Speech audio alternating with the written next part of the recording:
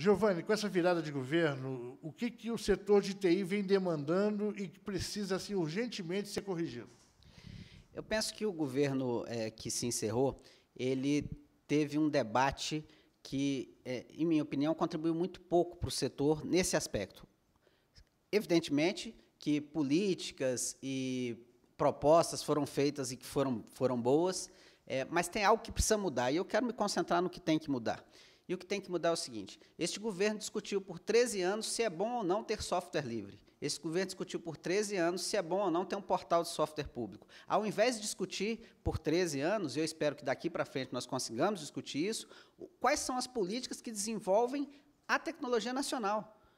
Eu não quero saber se ela é livre ou se ela é paga, eu quero saber se ela é nacional. Eu sou um nacionalista nesse sentido. Eu não quero fechar o mercado, essa história é antiga e não, já vimos que não leva ao sucesso. Nós temos que é, é, entender e compreender como é que é a dinâmica do mercado mundial e nós temos que nos inserir nessa dinâmica mundial. Mas, para isso, eu tenho que levar o debate para o lugar certo.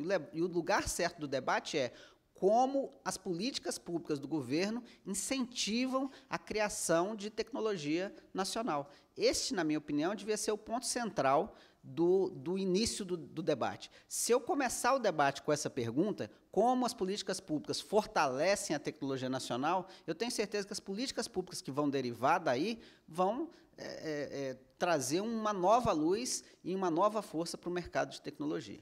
É, o governo passou muito tempo falando sobre Big Data, computação em nuvem, vários projetos, mas a, a base empresarial praticamente não teve participação efetiva né, nessa discussão. É, fora isso, você falou agora software livre, portal público, né? o que, que efetivamente precisa mudar agora, já? É, tanto isso como na questão também tributária, o que, que precisa ser feito assim, de impacto para que comece a reaquecer a economia?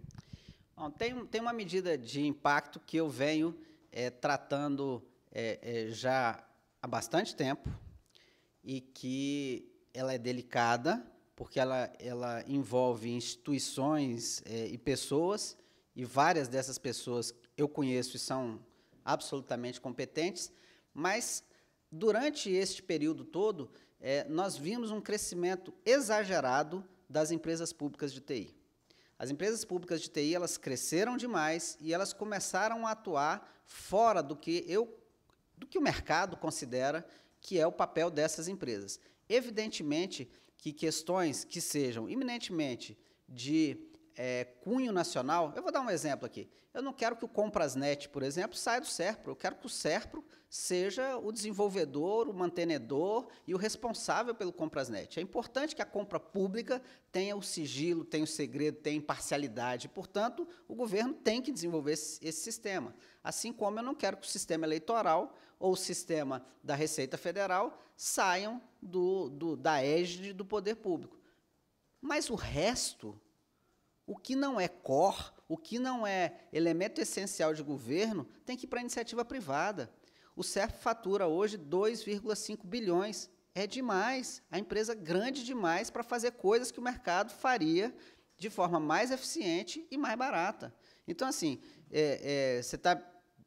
Eu posso aqui estar tá dando a entender que eu não gosto do Serpro. Não é nada disso, eu, eu gosto, tenho admiração pelo Serpro. É, é, é, quando ele faz aquilo que ele tem que fazer. O que eu sou contra é a política que foi adotada de crescimento exagerado.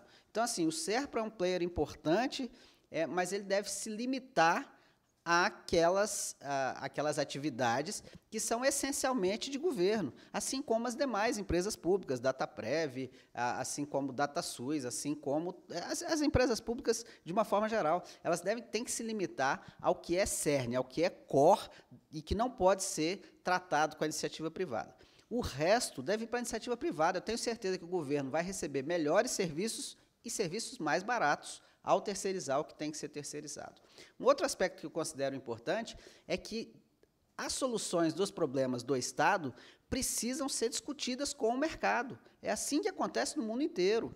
Quando eu preciso ter uma solução de segurança de e-mail nos Estados Unidos, eu chamo as empresas americanas para discutir. Quando eu preciso ter uma solução de segurança de e-mail no Brasil, eu me fecho em copas e quero resolver o problema internamente. E isso não pode funcionar. Então, o mercado brasileiro está tá ávido, nós, empresários, estamos ávidos para participar mais efetivamente das políticas públicas, para discutir com mais efetividade o que pode ser feito para o desenvolvimento das tecnologias nacionais.